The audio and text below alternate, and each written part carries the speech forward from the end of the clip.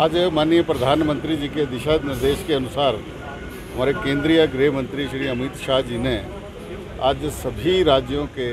जो Bharatiya Janata party rule states हैं और जो प्राकृतिक खेती के ऊपर और डिजिटलाइजेशन ऑफ़ एग्रीकल्चर्स के ऊपर जो है वो प्रदेश काम कर रहे हैं, उसकी बैठक थी, उसमें मुझे भी उसमें सम्मिलित होने का मौका मिला। आज जहाँ उन्होंने प्राकृतिक खेती के ऊपर और डिजिटलाइजेशन करने के ऊपर कितनी प्रोग्रेस जो है वो प्रदेश स्तर के ऊपर हुई है, उस विषय के ऊपर मैंने कहा कि हमने एक लाख इकहत्तर हज़ार, चौहत्तर हज़ार परिवारों को हमने एग्रीकल्चर प्राकृतिक खेती के साथ जोड़ा है और करीब साढ़े नौ हज़ार एकड़ ज़मीन को हमने इस के अंतर्गत लाया है।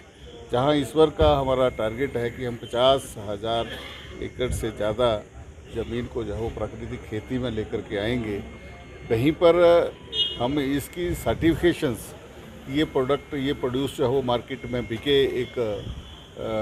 ऑर्गेनिक या प्राकृतिक खेती का प्रोड्यूस इसके लिए हमने 10 ऐसी एपीएमसी में व्यवस्था की और दो फुली डेडिकेट जो है वो इसके लिए की है। वहीं राष्ट्रीय स्तर के ऊपर भी जो उन्होंने जानकारी दी कि अमूल और तीन ऐसी ऑर्गेनाइजेशंस को मिला करके एक कॉपरेटिव तैयार किया है, जो प्राकृतिक खेती से जो जो जितनी उपज होगी, चाहे पैदावार होगी, उसको वो खरीदेंगे जिला स्तर के ऊपर। एक लैब को स्थापित करेंगे लैब में उसका परीक्षण होगा और फिर ये सर्टिफिकेशन के बाद उस प्रोडक्ट को जो है वो अमूल और उसके जो सहयोगी कॉपरेटिव होंगे, उसको वो परचेज़ करेंगे। ये व्यवस्था पूरे देश के अंदर जो है,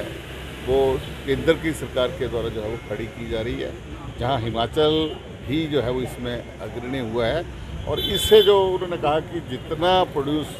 मार्केट में वर्ल्ड मार्केट में बिकेगा तो उस प्रोडक्ट उस प्रोड्यूस से जो इनकम होगी, वो उन जो किसान जो है, वो रजिस्टर्ड होंगे, उसमें वितरित जाएगी भूषण ज्वेलर्स अनमोल रिश्तों के लिए।